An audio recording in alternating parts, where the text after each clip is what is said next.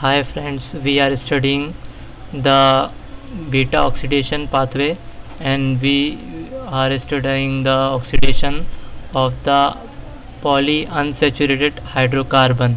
In this, this is the example which is called as a linoleoyl coenzyme.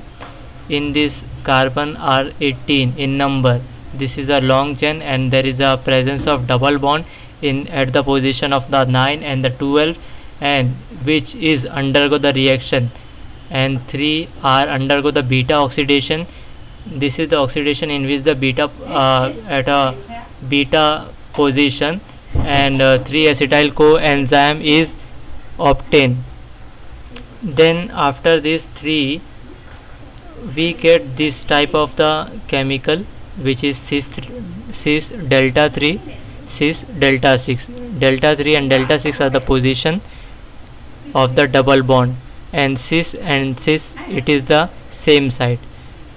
It is a delta 3 and delta 6 in the position. And uh, this undergo the reaction in the presence of delta 3 delta 2 enoyl CoA isomerase isomerase is the property of the shifting of the bond. But the chemical structure formula is same and hence it's converted into the trans delta 2 cis delta 6 trans this is trans because these functional group are opposite.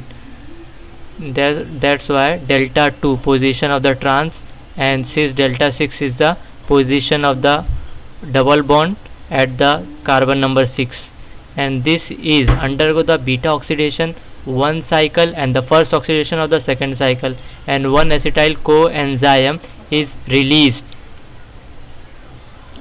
And because of this two carbon is eliminated and after this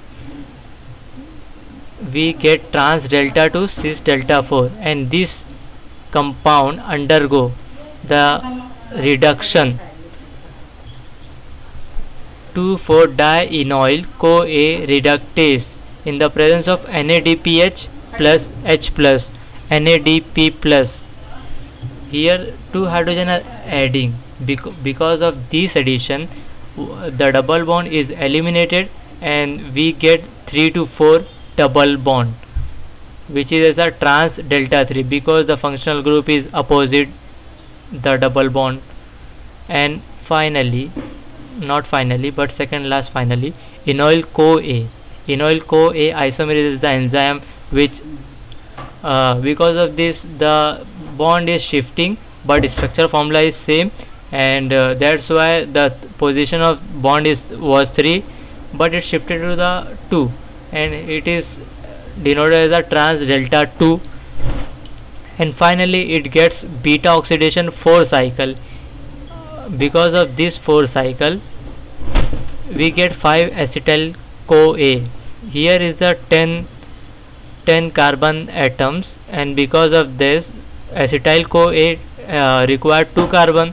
So 2 2 2 2 2 that's why 5 acetyl CoA is uh, formed in this last stage. Here 5 acetyl CoA here 1 acetyl CoA here 3 acetyl CoA 3 plus 1 plus 5 total we get 9 acetyl CoA because the total number the total number of carbon atom was 18 hence we get uh, we will get uh, half of the half of the carbon number. This is the beta oxidation of the polyunsaturated hydrocarbon.